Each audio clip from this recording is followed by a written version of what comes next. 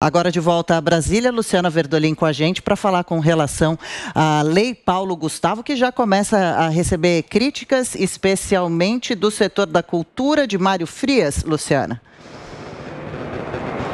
É isso mesmo, Adriana. A proposta é prever a destinação de 3 bilhões e 800 milhões de reais para estados e municípios que apresentarem um plano detalhado de ações aqui ao governo federal.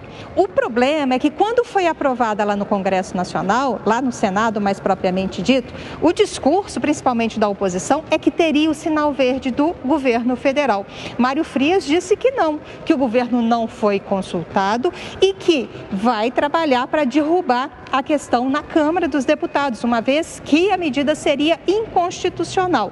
Do jeito que está, segundo o secretário especial de Cultura, a secretaria, o governo federal, seria um mero caixa eletrônico, teria que destinar recursos para o setor cultural de estados e municípios sem qualquer tipo de avaliação. Essa questão ficaria sob responsabilidade apenas dos gestores locais.